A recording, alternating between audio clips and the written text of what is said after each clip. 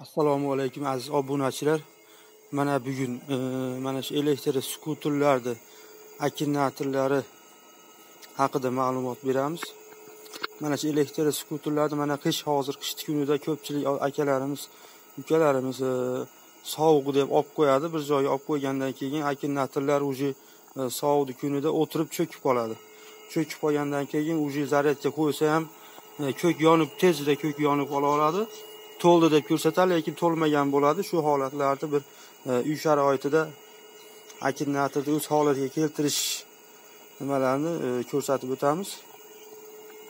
E, mana shu ko'pchilik akalarimiz mana shu qishlarda mana bu akkumulyatorlar teshiklari bor. Shunga suv quyadi ekan.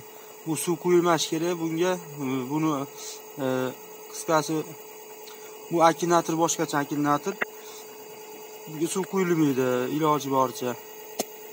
Buni ustaga olib borib e, uni aslida o'zi yangilab olish kerak bu skuterlarnikini. Ko'proq hozir mana zaryadchikka sayilgandan keyin uy sharoitida bu akkumulyatorni o'zini holatiga keltirish yo'llari uy sharoitida mana bunday zaryadga sayiladi. Sayilgandan keyin mana bu skuterni orqasini ko'tarib turib e, yurgizib qo'yiladi. Mana bir gazini bir skochdami e, yoki bo'lmasa mana bir ipdami yazini nima qilib qo'ysa bu yoqdan akkumulyator ham qandaydir tikkalanadi. O'zini holatiga kelib bu yoqqa ham skuter ham ishlayveradi akkumulyator ham o'zini holatiga bir kelaveradi cho'kib qolgan akkumulyator o'zini holatiga kelaveradi endi albatta yangidek bo'lib qolmaydi o'zini holatiga qaytadi.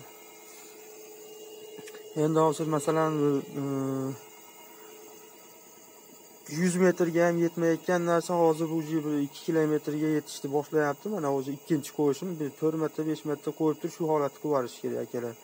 Shuni akinator olgan imkoniyati akalarimiz ukalarimiz ko'proq ko'rish uchun e, layk bosib qo'yasizlar degan umiddamiz.